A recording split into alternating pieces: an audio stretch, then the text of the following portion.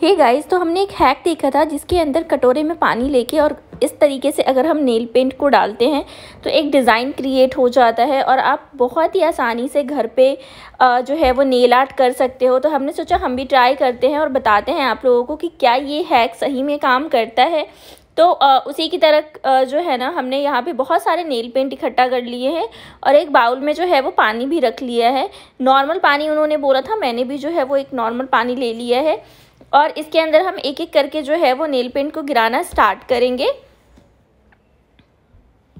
तो देखिए nail paint गिराते के साथ में जो है ना वो मेरा नेल पेंट जो है वो फैल नहीं रहा है बिल्कुल भी क्योंकि नेल पेंट इतना पतला नहीं होता है।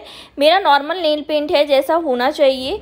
और ये जो है वो बिल्कुल भी फैल नहीं रहा था। आप देखिए मैंने दो तीन ड्रॉप जो है यहाँ पे नेल पेंट का डाल दिया है लेकिन फिर भी जो है ये फैल नहीं रहा था।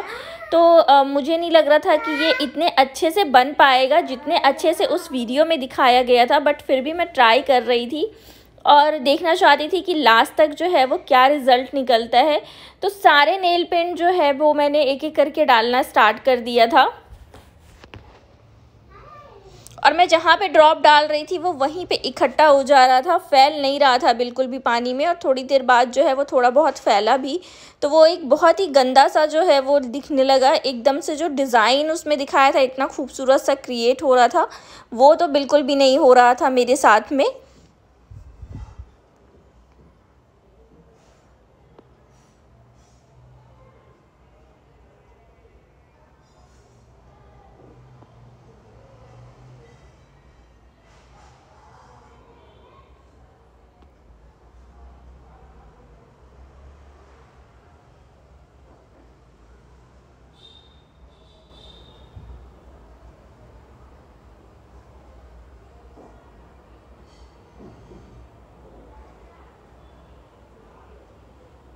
मैंने हल्का सा बाउल को जो है वो हिलाकर भी कोशिश किया कि ये नेल पेंट फैल जाए बट फिर भी ये नेल पेंट जो है वो फैला नहीं अपनी जगह पे ही जो है वो टिका रहा। तो जैसा डिज़ाइन उन्होंने दिखाया था वैसा डिज़ाइन तो बिल्कुल भी बन के नहीं तैयार हुआ था बट फिर भी आ, मैं जो है वो एक टूथपिक की हेल्प से इसको जो है वो थोड़ा सा फैलाने की कोशिश कर रही थी जैसा कि उस वीडियो में दिखाया गया था। बट ये बिल्कुल भी फैल नहीं रहा था, आप देख रहे हैं। एकदम से जो है ना, वो सूख चुका था ये, एकदम से जो है ना, वो एकदम टाइट सा हो गया था तो ये फैल नहीं रहा था लिक्विड जैसा तो बिल्कुल भी नहीं था।